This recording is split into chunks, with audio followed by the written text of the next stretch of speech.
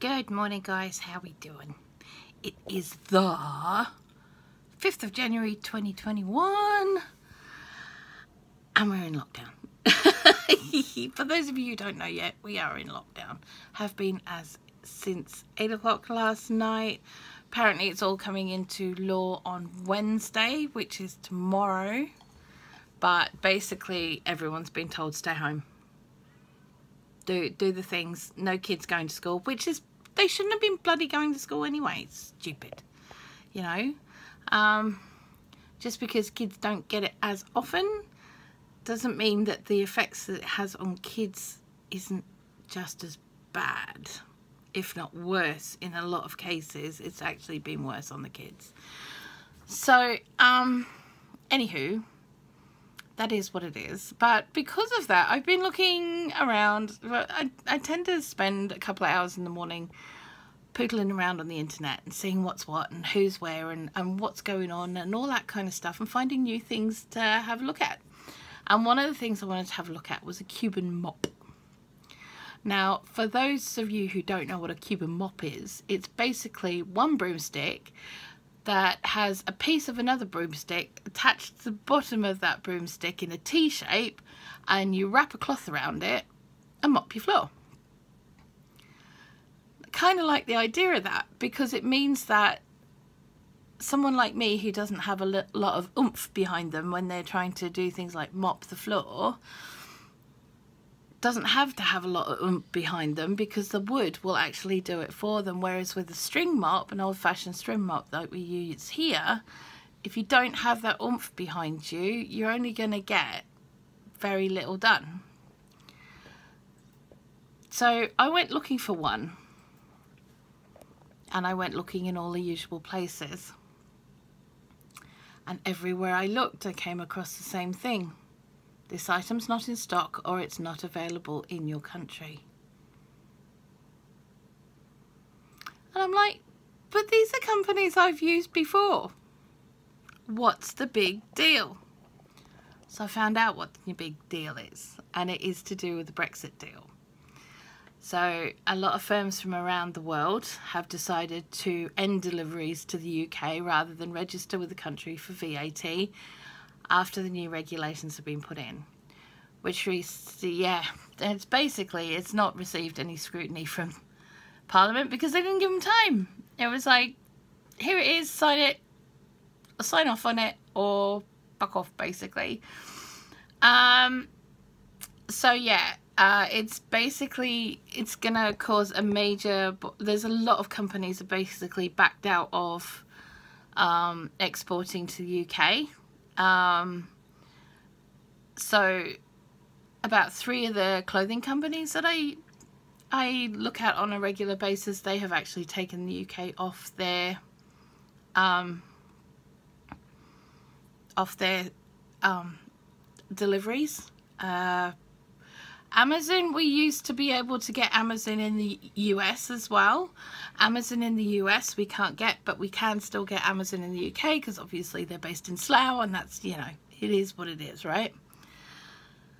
So, yeah, but we can't get them to send over here for some reason. Don't know what that's about. Um, there's been some more artisan type businesses, which is what I prefer to go to um, when I can because their products tend to last longer for the money that I spend. Um,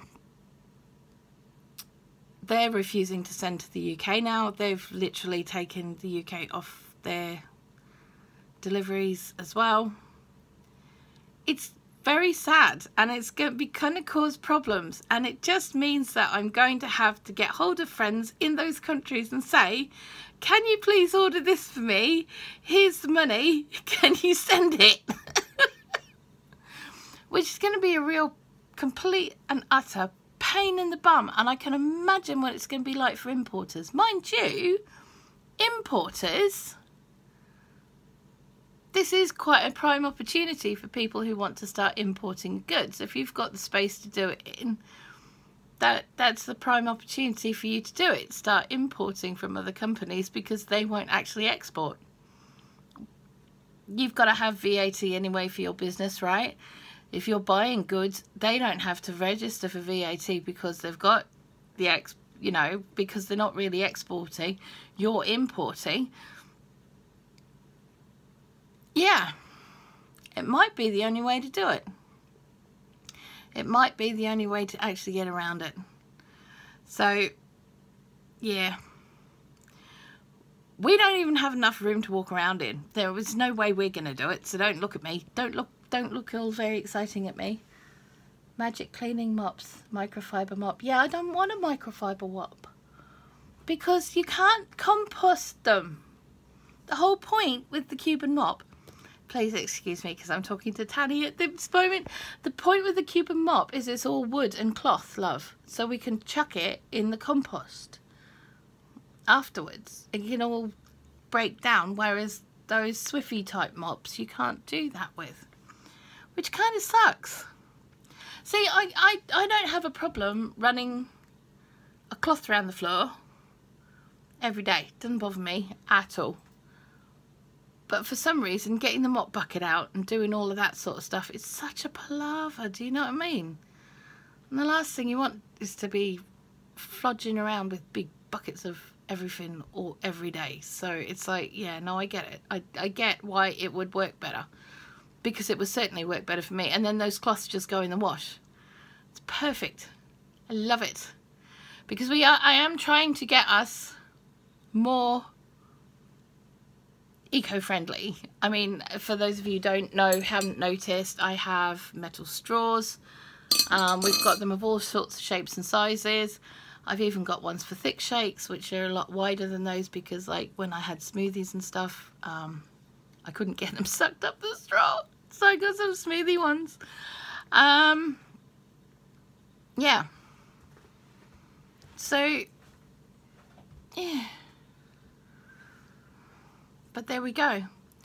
So, we're going to have a crack at actually making our own Cuban mop when we can get the dowel that we need to make it. As I don't want us to you know, do something we shouldn't and risk going out. I mean, we can probably order it in to deliver, eh? But it won't be for a few weeks. It won't be for a couple of weeks. So we'll have a crack at it. I can get the, this is the weird part, right? I can't get the mop itself, but I can get the cloths for the mop. Which is really odd you know, and it's going to be cheaper for us to get the dowel than to track down a shop or something. There was a person on eBay who was willing to send them over here, but it was going to cost something like $68 in postage, and the mop itself was something like $9. I was like, I don't think so. Let's not do that. Let's just make one because we can get the dowel for that. and have money to spare. So yeah. Um, so probably next big pay we'll have a look at maybe doing that and seeing how we go from there. But anywho, um, yeah, so see how we go. I'm going to have a gaming day today. I am. I want to have a gaming day. I need a day where I really don't have to think very hard. I don't know. I was thinking about maybe Ark. What? I don't have to think very hard on Ark. Yeah, but I know I'm going to die. I don't have to think about that. What I have to think about is bashy bashy, smashy smashy, farmy farmy, buildy buildy. That's it. it doesn't take a lot of it doesn't take a lot of brains at all well it, it, kind of does but I do want to cat yeah okay it does take some brains but I, I just it's a different sort of brains I've been so deeply busy studying the last few days I need a day where I can just my brain can just go no let's do something else. So that's what I'm gonna do. So guys, if you need that kind of data yourselves today, you go and do that. do the things that are going to make you happy and that you need to do for you so that you can do the things that you need to do. Because that's the important stuff right okay so I'm gonna go. You guys look after yourselves and each other. And if you can't be good be good at it. See you later. Bye